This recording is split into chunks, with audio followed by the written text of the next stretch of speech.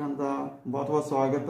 ਸਤਾਰੇ ਧੋਣਗੇ corona ਨੂੰ। ਇਸ programme ਵਿੱਚ ਆਪਾਂ ਅੱਜ ਗੱਲ ਕਰਦੇ ਹਾਂ ਹਲਕਾ ਵਿਧਾਇਕ ਚੱਬੇਵਾਲ ਡਾਕਟਰ ਰਾਜਕੁਮਾਰ ਜੀ ਜੋ ਕਿ ਬੜੇ ਜੀ ਜਾਨ ਨਾਲ ਜਦ ਤੋਂ ਹੀ ਕਰੋਨਾ ਦੀ ਇਹ ਮਹਾਮਾਰੀ ਸ਼ੁਰੂ ਹੋਈ ਆ ਜਨਤਾ ਦੇ ਵਿੱਚ ਲੱਗੇ ਹੋਏ ਹਨ।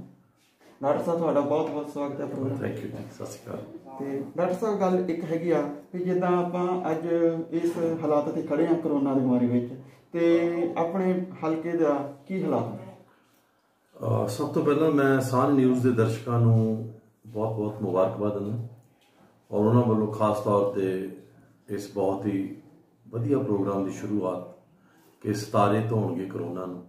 ਇੱਕ ਬਹੁਤ ਹੀ ਅੱਛਾ ਪ੍ਰੋਗਰਾਮ ਹੈ, ਨਿਹਾਇਤ ਹੀ ਅੱਛੀ ਸ਼ੁਰੂਆਤ ਹੈ। ਔਰ ਦੂਸਰਾ, ਅਹ ਜਿਸ ਤੱਕ ਕਰੋਨਾ ਵਾਇਰਸ ਦੀ ਕੋਵਿਡ ਦੀ ਜਿਸ ਤੱਕ ਸਮੱਸਿਆ ਦਾ ਸੰਬੰਧ ਹੈ ਅਸੀਂ ਬਹੁਤ ਕਿਸਮਤ ਵਾਲੇ ਰਹੇ ਹਾਂ, ਖੁਸ਼ਕਿਸਮਤ ਹਾਂ ਕਿ ਸਾਡੇ ਚੱਬੇਵਾਲ ਹਲਕੇ ਦੇ ਵਿੱਚ ਸੋ ਫਾਰ ਇੱਕ ਵੀ ਕੇਸ ਜਿਹੜਾ ਉਹ ਰਿਪੋਰਟਡ ਨਹੀਂ ਹੈ।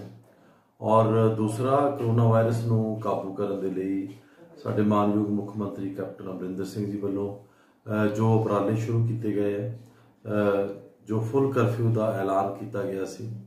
ਔਰ ਮੈਂ ਸਮਝਦਾ ਕਿ ਉਹ ਇੱਕ ਬਹੁਤ ਹੀ ਪ੍ਰਸ਼ੰਸਾਯੋਗ ਕਦਮ ਹੈ।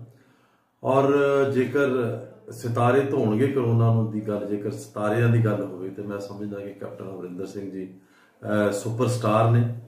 ਔਰ ਦੂਸਰਾ ਜਿਸ ਤੱਕ ਕਰੋਨਾ ਵਾਇਰਸ ਨੂੰ ਕੰਟਰੋਲ ਦੀ ਜਿਸ ਤੱਕ ਗੱਲ ਹੈ, ਉਹ ਮੈਨੂੰ ਲੱਗਦਾ ਹੈ ਕਿ ਪੰਜਾਬ ਜਿਹੜਾ ਇਸ ਦੇ ਵਿੱਚ ਜ਼ਰੂਰ ਕਾਮਯਾਬੀ ਹਾਸਲ ਕਰੇਗਾ। ਠੀਕ ਹੈ। ਤੇ ਜਿਸ ਤਰ੍ਹਾਂ ਹੁਣ ਕਰਫਿਊ ਲੱਗੇ ਨੂੰ ਬਹੁਤ ਸਮਾਂ ਹੋ ਚੁੱਕਾ ਹੈ, ਤੇ ਕੁਝ ਜਨਤਾ ਨੂੰ ਪ੍ਰੋਬਲਮਸ ਵੀ ਆ ਰਹੀਆਂ ਰਾਸ਼ਨ ਦੀਆਂ ਜਾਂ ਹੋਰ ਕਿਸੇ ਵੀ ਤਰ੍ਹਾਂ ਦੀਆਂ। ਤੇ ਉਹਦੇ ਲਈ ਵਿਧਾਨ ਸਭਾ ਹਲਕਾ ਚੱਬੇਵਾਲ ਦੇ ਵਿੱਚ ਆਪਾਂ ਕਿੰਨੇ ਕੁ ਪਿੰਡ ਕਵਰ ਕਰ ਚੁੱਕੇ ਹਾਂ? ਤੇ ਹੁਣ ਤੱਕ ਆਪਾਂ ਜਨਤਾ ਨੂੰ ਕਿੰਨਾ ਕੁ ਸਹੂਲਤ ਦੇ ਪਾਏ? ਆ ਦੇਖੋ ਜਦੋਂ ਸ਼ਟਡਾਊਨ ਹੋਇਆ ਤੇ ਉਸ ਤੋਂ ਬਾਅਦ ਜਨਤਾ ਨੂੰ ਵਾਕਈ ਬਹੁਤ ਜ਼ਿਆਦਾ ਸਮੱਸਿਆਵਾਂ ਆਈਆਂ। ਖਾਸ ਤੌਰ ਤੇ ਉਹ ਲੋਕ ਜਿਹੜੇ ਰੋਜ਼ਮਰਰਾ ਦੀ ਜ਼ਿੰਦਗੀ ਜਿਨ੍ਹਾਂ ਦੀ ਸਿਰਫ ਦਿਹਾੜੀ ਤੇ ਜਿਨ੍ਹਾਂ ਦਾ ਗੁਜ਼ਾਰਾ ਨਿਰਭਰ ਸੀ। ਬਹੁਤ ਤੰਗੀ ਆਈ। ਇਸ ਤੋਂ ਇਲਾਵਾ ਸਾਡੇ ਮਾਈਗ੍ਰੈਂਟ ਲੇਬਰ ਜਿਹੜੀ ਸੀ, ਉਹ ਵੀ ਬਹੁਤ ਤੰਗ ਪਰੇਸ਼ਾਨ ਹੋਏ। ਪਰੰਤੂ ਮੈਂ ਆਪਣੀ ਸਰਕਾਰ ਦਾ ਧੰਨਵਾਦ ਕਰਦਾ ਕਿ ਉਹਨਾਂ ਨੇ ਜਿਹੜਾ ਸਾਡੇ ਜਿੰਨੇ ਵੀ ਲੋਕ ਨੇ, ਉਹਨਾਂ ਨੂੰ ਬਿਲਕੁਲ ਕੋਈ ਪਰੇਸ਼ਾਨੀ ਨਹੀਂ ਆਉਣ ਦਿੱਤੀ। ਮੈਂ ਧੰਨਵਾਦੀ ਹਾਂ ਸਾਡੀ ਐਨਜੀਓਜ਼ ਦਾ। ਮੈਂ ਧੰਨਵਾਦੀ ਹਾਂ ਰਾਧਾ ਸਵਾਮੀ ਸਤਸੰਗ ਬਿਆਸ ਔਰ ਮੈਂ ਧੰਨਵਾਦੀ ਹਾਂ ਗੁਰੂ ਨਾਨਕ ਜੋ ਗੁਰੂ ਨਾਨਕ ਮਿਸ਼ਨ ਜੋ ਚੈਰੀਟੇਬਲ ਸੁਸਾਇਟੀ ਔਰ ਗੁਰੂ ਨਾਨਕ ਔਰ ਨਿਰੰਕਾਰੀ ਮਿਸ਼ਨ ਸੁਸਾਇਟੀ ਵੱਲੋਂ ਬੜੇ ਉਮਦਾ ਉਪਰਾਲੇ ਕੀਤੇ ਗਏ, ਸਿੱਖ ਸੰਗਤ ਵੱਲੋਂ ਬਹੁਤ ਉਪਰਾਲੇ ਕੀਤੇ ਗਏ ਸਾਡੇ ਮਹਾਪੁਰਸ਼ਾਂ ਵੱਲੋਂ। ਮੈਂ ਉਹਨਾਂ ਦਾ ਬਹੁਤ ਧੰਨਵਾਦ ਕਰਦਾ ਕਿ ਸਾਰਿਆਂ ਦੇ ਸਹਿਯੋਗ ਦੇ ਨਾਲ ਸੰਗਤ ਨੂੰ ਜਿੱਥੇ ਤੱਕ ਉਹਨਾਂ ਦੇ ਖਾਣ ਪੀਣ ਦੀ ਸਮੱਸਿਆ ਹੈ, ਕਿਸੇ ਨੂੰ ਵੀ ਕੋਈ ਸਮੱਸਿਆ ਨਹੀਂ ਆਈ ਤੇ ਸਾਡੇ ਵੱਲੋਂ ਹੁਣ ਤੱਕ ਕਰੀਬ 8000 ਦੇ ਕਰੀਬ ਜਿਹੜੇ ਆ ਰਾਸ਼ਨ ਦੇ ਪੈਕ ਨੇ। ਬੈਗ ਨੇ, ਉਹ ਅਸੀਂ ਆਪਣੇ ਵੱਲੋਂ ਬਣ ਚੁੱਕੇ ਹਾਂ।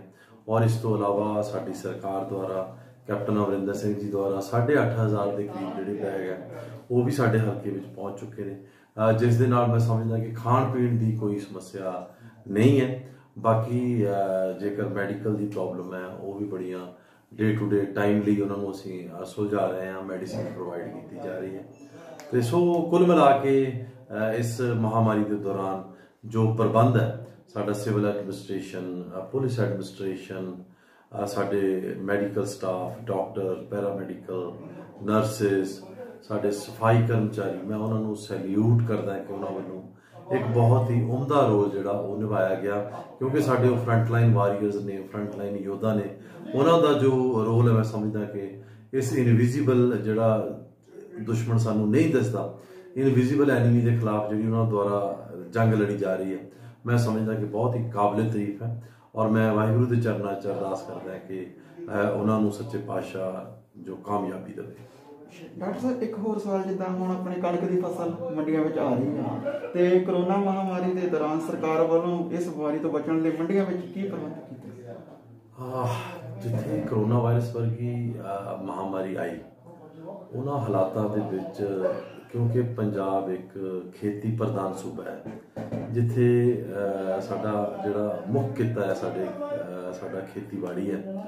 ਔਰ ਉੱਥੇ ਹੀ ਇਸ ਨੂੰ ਚੱਕਣਾ ਇੱਕ ਬਹੁਤ ਵੱਡਾ ਚੈਲੰਜ ਸੀ। ਸਾਡੀ ਸਰਕਾਰ ਵੱਲੋਂ ਉਸ ਚੈਲੰਜ ਨੂੰ ਲੈਂਦੇ ਹੋਏ ਸਭ ਤੋਂ ਪਹਿਲਾਂ ਮੰਡੀਆਂ ਦੀ ਗਿਣਤੀ ਪੰਜਾਬ ਦੇ ਵਿੱਚ ਉਹ ਡਬਲ ਕੀਤੀ ਗਈ। ਲਗਭਗ 3700 ਜਿਹੜੇ ਪਰਚੇਸ ਸੈਂਟਰ ਹੈ, ਉਹ ਬਣਾਏ ਗਏ। ਤੇ ਹੁਣ ਤੱਕ ਕਰੀਬ 55 ਲੱਖ ਮੀਟ੍ਰਿਕ ਟਨ ਜਿਹੜੀ ਹੈ ਕਣਕ ਉਹ ਖਰੀਦੀ ਜਾ ਚੁੱਕੀ ਹੈ। ਔਰ ਹਰ ਮੰਡੀਆਂ ਦੇ ਵਿੱਚ ਸੈਨੀਟਾਈਜੇਸ਼ਨ ਸਪਰੇਅ ਹੈ। ਸੋਸ਼ਲ ਡਿਸਟੈਂਸਿੰਗ ਦਾ ਜਿਹੜਾ ਕਨਸੈਪਟ ਹੈ ਉਹ ਹੋ ਰਿਹਾ ਔਰ ਮੈਡੀਕਲ ਟੀਮਾਂ ਜਿਹੜੀਆਂ ਹਰ ਮੰਡੀ ਦੇ ਵਿੱਚ ਜਾ ਰਹੀਆਂ। ਔਰ ਪਾਸਸ ਦੇ ਵਿੱਚ ਵੀ ਅੱਜ ਦੀ ਡੇਟ ਦੇ ਵਿੱਚ ਕੋਈ ਸਮੱਸਿਆ ਨਹੀਂ ਹੈ। ਬੜਾ ਸਮੂਥਲੀ ਜਿਹੜੀ ਹੈ ਲਿਫਟਿੰਗ ਹੋ ਰਹੀ ਹੈ। ਬੜੀ ਸਮੂਥਲੀ ਪ੍ਰੋਕਿਉਰਮੈਂਟ ਹੋ ਰਹੀ ਹੈ। ਸੋ ਮੈਂ ਸਮਝਦਾ ਕਿ ਆੜਤੀਆਂ ਨੂੰ, ਸਾਡੇ ਕਿਸਾਨ ਵੀਰਾਂ ਨੂੰ ਮੰਡੀਆਂ ਦੇ ਵਿੱਚ ਕੋਈ ਵੀ ਸਮੱਸਿਆ ਨਹੀਂ ਹੈ। ਤੇ ਮੈਂ ਉਹਨਾਂ ਨੂੰ ਭਰੋਸਾ ਦਿਵਾਉਣਾ ਚਾਹੁੰਦਾ ਕਿ ਇੱਕ ਇੱਕ ਦਾਣਾ ਜਿਹੜਾ ਸਾਡੀ ਸਰਕਾਰ ਵੱਲੋਂ ਪਹਿਲਾਂ ਦੀ ਤਰ੍ਹਾਂ ਇਸ ਵਾਰ ਵੀ ਸਮੇਂ ਸਿਰ ਚੁੱਕਿਆ ਜਾਏਗਾ। ਕਰੋਨਾ ਮਹਾਮਾਰੀ ਦੌਰਾਨ ਜਿੱਦਾਂ ਬਹੁਤ ਵੱਧ ਰਹੀ ਹੈ ਤੇ ਆਮ ਲੋਕਾਂ ਨੂੰ ਤੁਸੀਂ ਕੀ ਸੁਨੇਹਾ ਦੇਣਾ ਚਾਹੋਗੇ?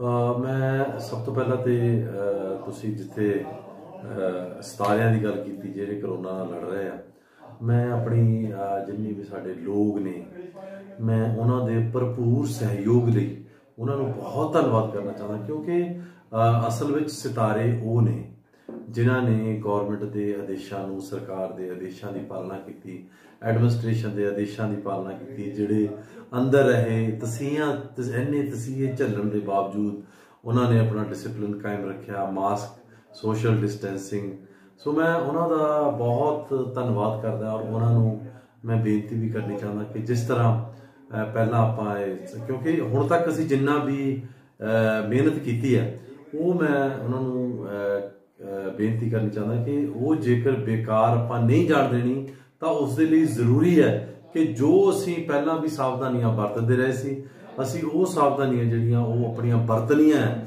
ਔਰ ਜੇਕਰ ਸਾਨੂੰ ਸਾਡੀ ਸਰਕਾਰ ਨੇ 7 ਤੋਂ 11 ਵਜੇ ਤੱਕ ਜਿਹੜੀ ਦੁਕਾਨਾਂ ਦੇ ਵਿੱਚ ਢਿੱਲ ਦਿੱਤੀ ਹੈ, ਕਰਫਿਊ 'ਚ ਢਿੱਲ ਦਿੱਤੀ ਹੈ, ਉਹ ਵੀ ਬੜਾ ਸਾਵਧਾਨੀ ਦੇ ਨਾਲ ਆਪਾਂ ਯੂਜ਼ ਕਰਨਾ ਹੈ। ਆਪਾਂ ਘਰਾਂ ਤੋਂ ਬਾਹਰ ਨਿਕਲਣਾ ਹੈ।